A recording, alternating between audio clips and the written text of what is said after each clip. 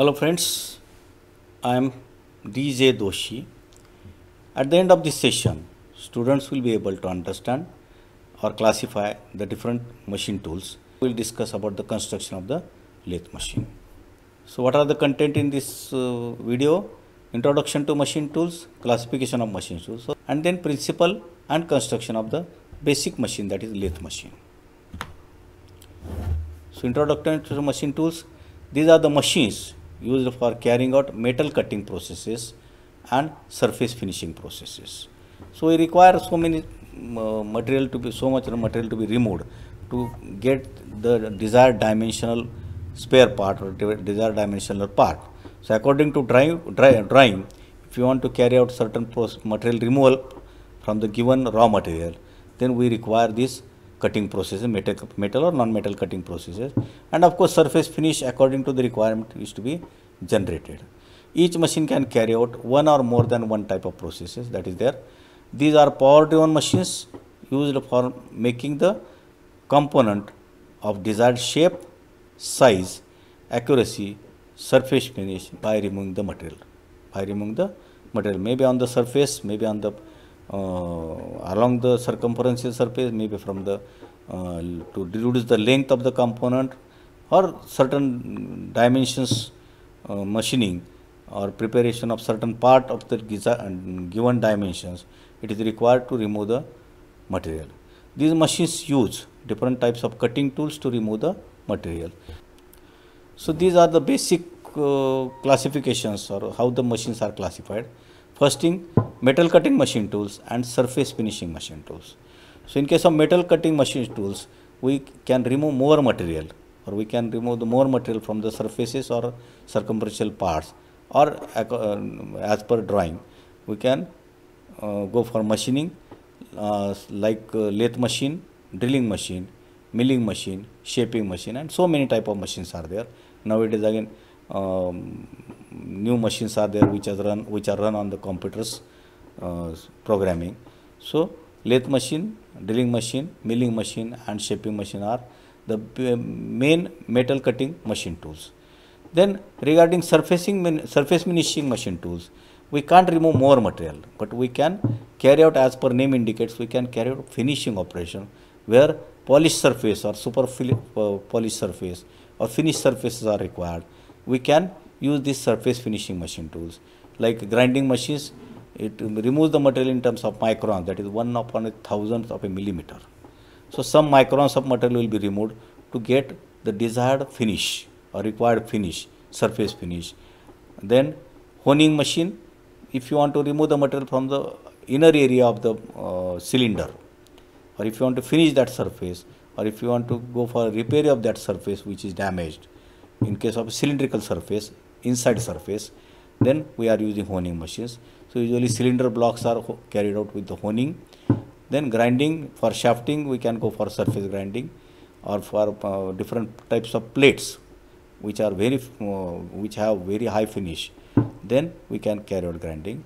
Lapping machine again it is uh, still less material will be removed uh, then polishing machines. These two machines that is lapping machine and polishing machine Uh, remove the least material. So when we want to go for lapping or polishing, we must keep almost nil material. Only the finishing of the surface should be carried out. Now principle and construction of the lathe. In the lathe machine, the workpiece to be machined is held firmly and rotated about its axis. Then the cutting tool is moved relative to the workpiece that is parallel to the axis or perpendicular to axis or angular to the axis. The cutting tool is made up of harder material than the workpiece.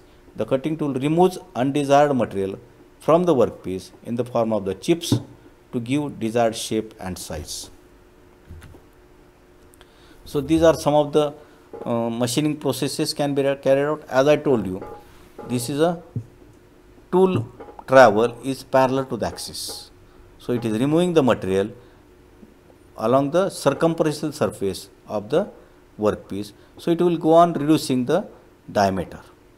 We will be removing the material radially, but diameter will be reduced by double of it. If you remove 0.5 mm of a material uh, from the uh, radially by the tool, then the diameter will be reduced by 1 mm.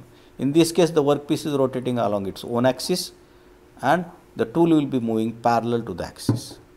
Now, in this case, if you observe, if you, it is shown here, cutting tool is moving perpendicular to the axis in this direction.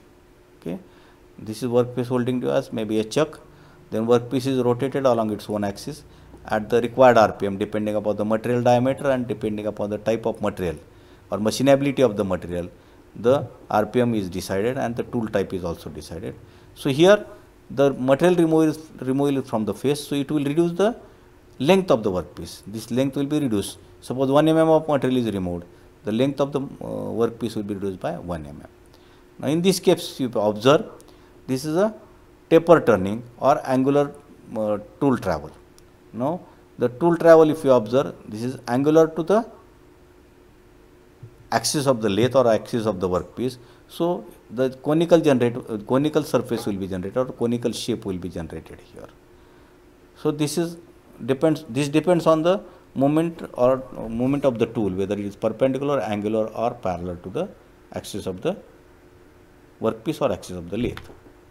So, this is the lathe machine. So, the main elements in this machine are headstock, tailstock, feed drive and the carriage. So, if you observe here, this part is called the headstock. So, what are the contents in the headstock? So, this is a spindle here till this length, this is a spindle which is mounted in the headstock between the bearings. There are two bearings, one bearing is here, another bearing at this end and the spindle is given drive by certain driving mechanism, maybe directly with the gears or maybe directly by the belt. So, the motor and the driving mechanism will be at the back side of the lathe. So, this is spindle on which the tool the work holding devices are devices mounted. So, this is a chuck in which we will be holding the workpiece. Okay. Now, when we start the motor, when we start the driving mechanism or motor, the spindle will start rotating. The RPMs of the spindle will be decided that spindle speed selectors. This is like a this is uh, this is actually the gear driven lathe and in this headstock there is different gear trains. When we go on shifting the lever or we go on ch changing the position of the lever, different types of gear and different number of teeth gear will be meshing with each other and accordingly the speed will be changed, spindle speed will be changed. So, the speed of the chuck or speed of the spindle depends on the diameter of the workpiece, the material to be removed, the finish uh, which is required, then the type of the material and type of the tool. Okay. So, this is about the headstock, this is a tailstock. So, this has this is a tailstock spindle, this is a tailstock body, this is tailstock locking nut and this is mounted on the bed wedge. This is mounted on the bed wedge. One of the uh, bed wedge is of V type and another is flat so that there will not be perpendicular movement to this face. So, it will travel only along the axis of the lathe along this line. Okay. Now, in this spindle Morse taper is there in which we can place the uh, different types of centers maybe ball bearing center maybe a dead center or sometimes if you want to carry out a drilling operation at the center along the axis then we can place the drill in it and you can carry out the drilling but limitations are only along the axis at the center. Okay. So, this is the use of tailstock and what for these dead center or live centers are there to support the workpiece. Now, see the workpiece we are holding in the chuck, the workpiece we are holding the chuck. So, if it is of more length, if it is of more length, during cutting operation it may happen that that will be lifted, that will damage the machine, that will damage or break down the tool and it is hazardous to the person who is working there. So, it is to be supported from the front side so that it will not be lifted during machining. So, that is the use of the tailstock. Now, this is the carriage which is made up of different parts. So, this is called apron or apron box. This is a saddle. This has a V groove at one side, at another side there is a flat surface. So, that there will not be perpendicular movement to the uh, axis of the lathe only there will be when we will move the carriage with the help of this carriage wheel it will travel parallel to the axis always the carriage will travel parallel to the axis with the help of a, a gear mounted on this and a racket, ra, racket, ratchet or rack pinion arrangement is there. So, this will make to move the carriage towards the headstock or towards the tailstock. On this saddle, there is a cross slide. Again, there is a cross slide wheel which operates the cross slide. When you rotate this either in clockwise direction or anti-clockwise direction, the travel of this cross slide will be perpendicular to the axis of the lathe. Okay. So, with the help of carriage we can carry out turning operation because it is parallel to the axis and with the help of a cross slide we can carry out the facing operation because this movement of the tool will be perpendicular to the axis. Above this cross slide there is a compound slide on which the tool post is mounted. Compound slide is used sometimes for taper turning and sometimes for uh, applying uh, the less material to be removed. Okay. And this is the tool post. Always the tool post will be along uh, on the same line of the axis of the lathe. And the tool is mounted in this tool post which is used for cutting the material. So, apron, saddle, cross slide, compound slide, tool post and tool post locking nut. This is the tray to correct the material removed in it, the material removed and these are the bed weights or bed. This is the bed on which the total assembly is mounted and there is a feed drive mechanism. By changing these levers position, we can change the feed given to the machine which will make this, this lead screw to rotate at higher or lower RPM. Lower will be the RPM compared to the spindle, more better will be the finish you will be getting. Slower the speed of this lead screw, uh, faster the uh, speed of the lead screw will give the coarse finish.